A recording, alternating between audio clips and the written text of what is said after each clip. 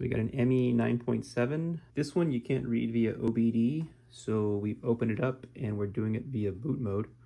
Uh, we're using HexProg today. And XFlash at the moment, almost done with that. And then we're gonna grab the last one, the XEPROM.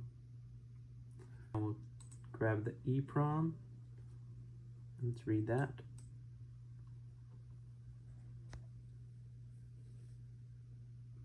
This is the original, and then I'm going to put this info into the donor.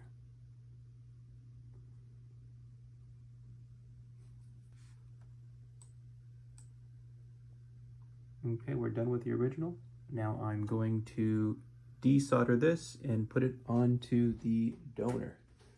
Uh, we have different part numbers. I usually like to use the same part numbers, but this should still work. Okay, so we've got the donor hooked up now.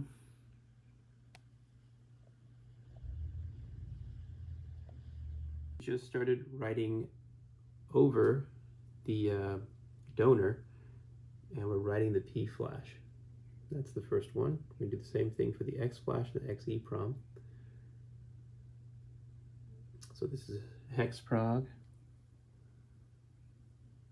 And we're hooked up, boot mode. And you can see here, it's just writing the sectors one at a time. It erases the sector and then it writes the sector with the file that I've chosen.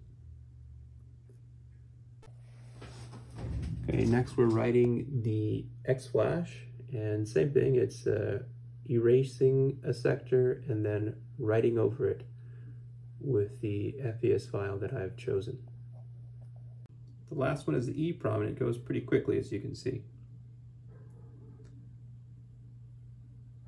And this one's complete. It's all done.